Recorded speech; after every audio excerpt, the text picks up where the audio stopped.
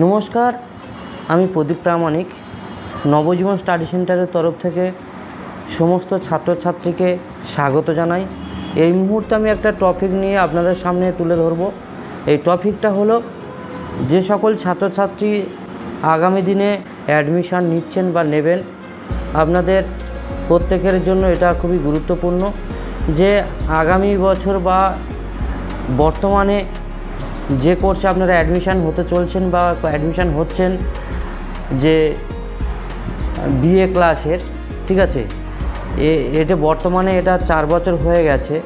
তো এই চার বছরে যে কোর্সটা আপনারা করবেন, সেটা আপনাদের কাছে কতটা সুবিধা, কতটা অসুবিধা এবং কতটা কঠিন, কতটা সহজ তাই নিয়ে কিছু বিশেষজ্ঞদের মতামত আপনাদের সঙ্গে আমি শেয়ার করব। আশা করি আপনাদের অনেকটা নলেজ হবে এবং আগামী দিনে যখন আপনারা অ্যাডমিশান হচ্ছেন, সেই মতো আপনারা প্রিপারেশান নিতেও সুবিধা হবে। তো আমি শুরু করছি যে নতুন চার বছরের স্নাতকোত্তর কোর্সের আগে যে পদ্ধতিটা ছিল, তার থেকে এখন সেটা কঠিন না, সহজ না সুবিধা না অসুবিধা তা কি বলছি বিশেষজ্ঞরা, ঠিক আছে? তাহলে আমি শুরুতে বলি, আমার এই চ্যানেলে যদি নতুন হয়ে থাকেন, অবশ্যই চ্যানেলটা সাবস্ক্রাইব করে পাশে থাকা অল নোটিফিকেশান অন করে রাখবেন। কারণ ইউনিভার্সিটির যাবতীয় আপডেট ইনফরমেশান এবং এবং ইউনিভার্সিটির যাবতীয় গুরুত্বপূর্ণ নথি বা গুরুত্বপূর্ণ তথ্য নিয়ে আমি আমার এই চ্যানেলে আমি আলোচনা করি। আশা করি আপনাদের আগামী দিনে খুবই উপকারে লাগবে। এছাড়াও আপনারা যারা যারা এখানে অ্যাডমিশান হচ্ছেন, আমার এই চ্যানেল থেকে সাজেশান নোটসপত্র পেয়ে যাবেন গাইড পেয়ে যাবেন। তো চলুন শুরু করি।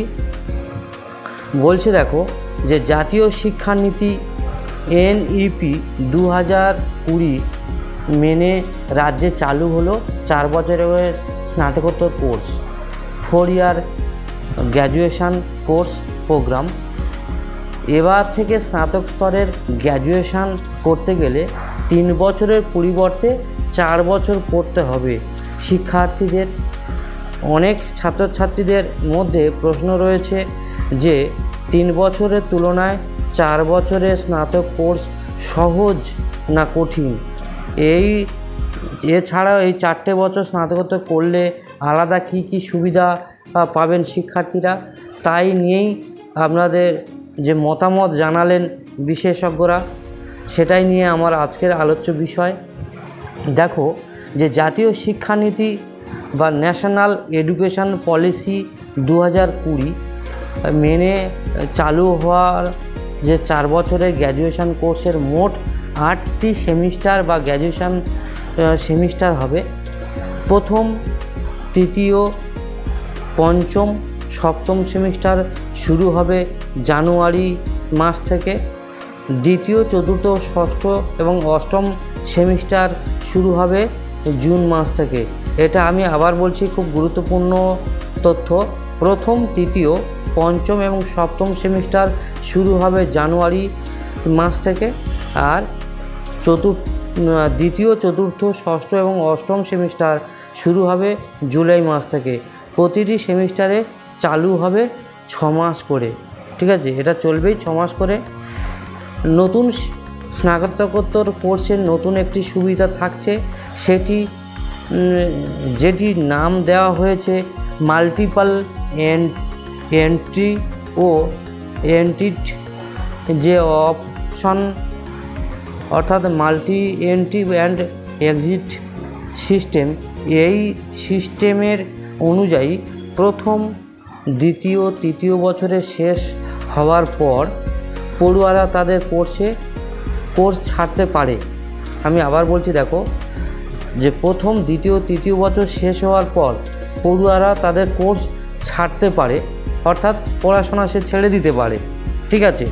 সেই বছরে মানে যে বছর ওরা ছাড়ছে, সেই বছরের অনুযায়ী সেই সার্টিফিকেট, যে সার্টিফিকেটটা বা কলেজ সার্টিফিকেট পাবে, তারা তারা তিন বছরে ছাড়ছে মানে তিন বছরের কলেজ সার্টিফিকেট তারা পাবে। ঠিক আছে? আর আর যারা চার বছর কমপ্লিট করছে, তারা গ্র্যাজুয়েশান সার্টিফিকেট পাবে। কলেজ সার্টিফিকেট আর এটা হচ্ছে গ্র্যাজুয়েশান সার্টিফিকেট আমি এটা খুব গুরুত্বপূর্ণ তথ্য বলছি, আবার দেখুন, যারা তিন বছরে ছেড়ে দেবে, তিন বছর পড়াশোনা করে ছেড়ে দেবে, তার সেই কোর্সটার নাম হবে কলেজ সার্টিফিকেট ঠিক আছে? আর যারা পুরো চার বছর কমপ্লিট করবে, সেই কোর্সটার নাম হবে গ্র্যাজুয়েশান সার্টিফিকেট ঠিক আছে? এইবার আসছি যে চার বছর স্নাতকোত্তর কোর্স শেষ হওয়ার পর যে পড়ুয়ারা এক বছরের পোস্ট গ্র্যাজুয়েশান কোর্স বা পোস্ট গ্র্যাজুয়েশান কোর্স করতে পারবেন। তার পাশাপাশি ইন্টার ডিসিপ্লিনারি কোর্স ও সামার ইন্টার্নশিপের সুবিধাও থাকছে। ঠিক আছে?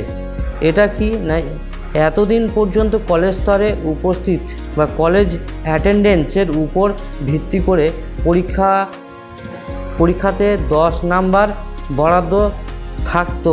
এটা খুবই গুরুত্বপূর্ণ।